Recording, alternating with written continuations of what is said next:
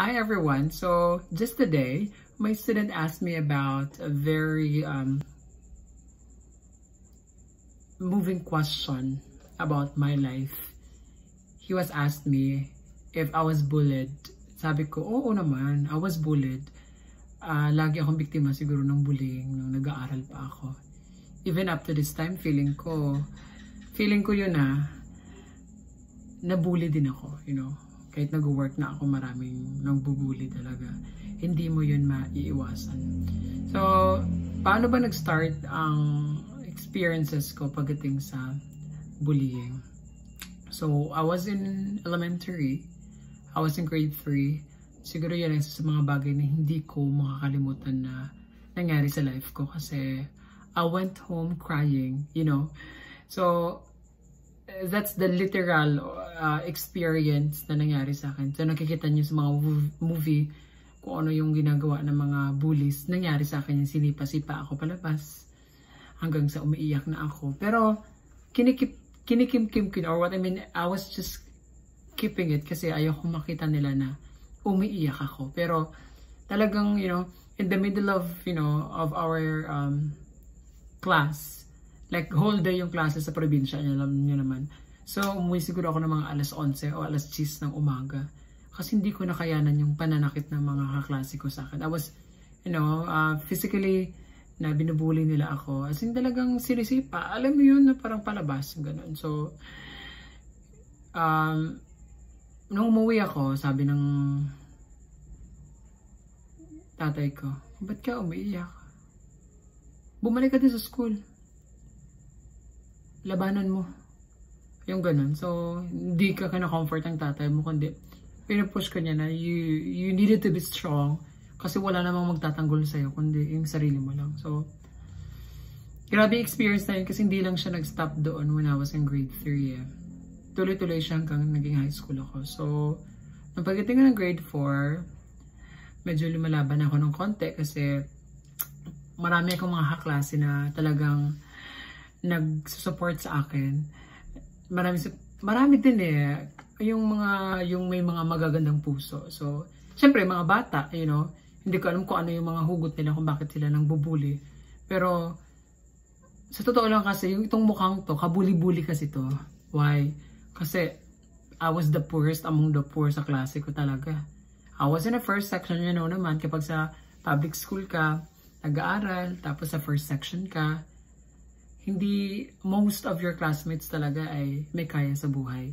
So ako, na talagang walang-wala, tapos ang layo pa ng nilalakad ko. Pag pasok sa school, you know, I'm good with my friends. May pa naman ako manghingi kasi wala akong laging baon. Kasi mahirap talaga, sobrang hirap namin. Imagine mo, ilan ang anak ng nanay mo, siyam, na pinapaaral. So, talagang hirap na hirap sa buhay. So, hindi nakit hindi alam yun ng mga kaklase ko. Siyempre mga bata pa, hindi nila alam yung mga, yung nararanasan ko na gano'n. Tapos, ginaganon pa ako. So, intindihin na lang natin na bata pa kami those days. No? Pero, mali.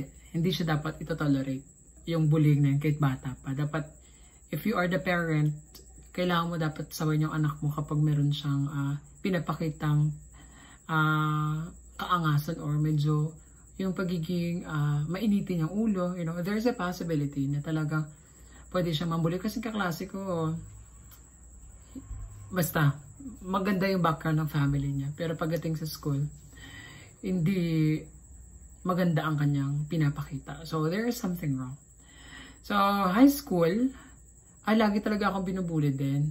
Um, yung pinagtitripan pa kasi ah, bakla-bakla, di ba? So, lagi mo talaga, lagi ka talagang aaasa rin. At saka, syempre, meron pa akong, ito, kita niyo to, yan. Yan, isa sa mga bagay na laging inaasar sa akin kasi special yan.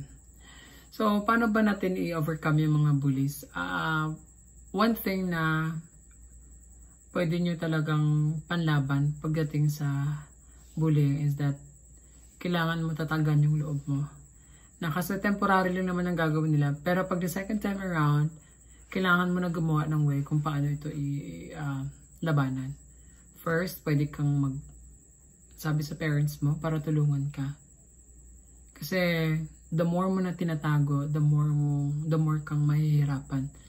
Kasi wala kang katulong o sa sa paghihirap na nararanasan mo sa sa bullying. Tapos pangalawa, um, you can also um, ask friends, you know, to help you na pwedeng uh, pagsabihan yung mga nabubuli na hindi maganda yung kanilang ginagawa kasi it hurts physically and emotionally and mentally.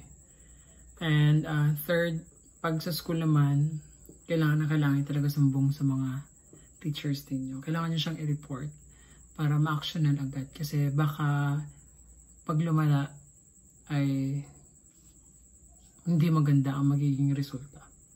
So, ano bang naging effect sa akin ng bullying? Okay, so, naging effect sa akin ng bullying ay naging matatag akong tao.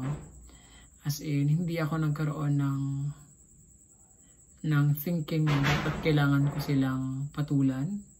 Siguro when I was in grade 4, medyo lumaban ako ng konti. Pero, hindi talaga dumating sa point na talagang papatayin ko sila whatsoever yung a little lang na fighting for myself, you know, defend myself rather. Para lang, you know, makita nila na kaya ko, na strong ako. So, ayun.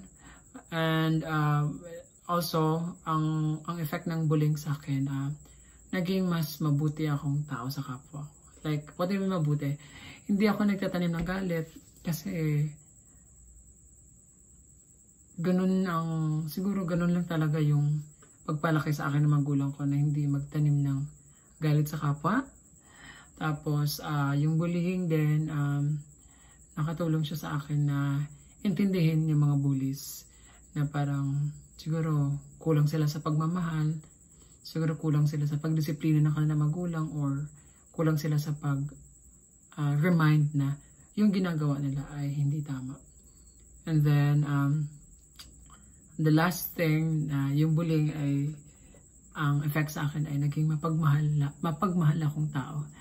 Like, madali ako magpatawa, tapos hindi ako mabilis mainis, yung ganon. Na parang I always understand kung bakit ganon silang tao. So guys, I hope na kung kayo ay binubuli, uh, sana matuto kayong uh, mag-defend ng self ninyo. Um, Speak out, share it to your, tell it to your parents, to your friends, and of course, to your teachers pag alam mo uh, binubuli ka. And um, ang pagbubuli hindi naman kailangan idaan sa sa kaharasan eh. What I mean, ang pag-solve ng bully, uh, pag-solve ng bullying ay hindi naman kailangan daan sa marahas na pamamaraan, kundi dapat kailangan mong ano, kailangan mong ayusin to na maintindihan niya na yung ginagawa niya ay mali.